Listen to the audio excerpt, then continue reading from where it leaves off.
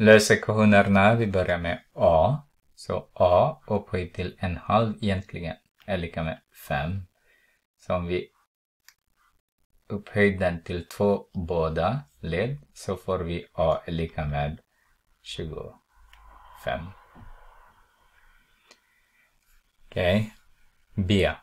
Så har vi, om vi dividerar båda led med 3 så har vi A upphöjt till en halv är lika med så upphöjt vi den igen med 2. Med 2. Så får vi A är lika med den här blir 1. Jag glömde att säga det. Att den här blir 1 är lika med 9. Där C så har vi A upphöjt till en tredjedel är lika med 10 upphöjt till 2. Så om vi upphöjer den till eh, 3 upphöjt till 3 så har vi när det blir 1 a är lika med 10 upphöjt till 2 multiplicerat med 3 är ju 6 eller en miljon. Här, om vi multiplicerar båda led med a så att en a här blir 1 så har vi 4 är lika med a upphöjt till en halv och därmed 1 egentligen där. Så 4 är lika med a upphöjt till, vad blir det? 3 halv eller ett och ett halvt om ni vill.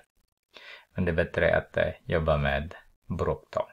Så om vi upphöjer den till eh, två tredjedelar, två tredjedelar, så får vi fyra upphöjt till två tredjedelar är lika med, den här blir Okej. Okay. Men om vi skulle titta på eh, så att det blir två kanske är det bra att göra det.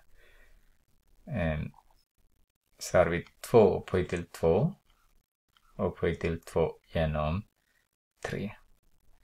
Så får vi två upphöjt till fyra tredjedelar. Lika med A. Mm. Vill man, ha, vill man räkna den här 2 upphöjt till 4 så har vi 2 upphöjt till 4 upphöjt till en tredjedel lika med A.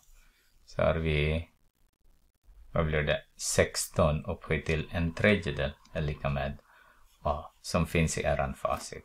Svarar ni på det här sättet, om jag är din lärare, då är det inga problem för min del.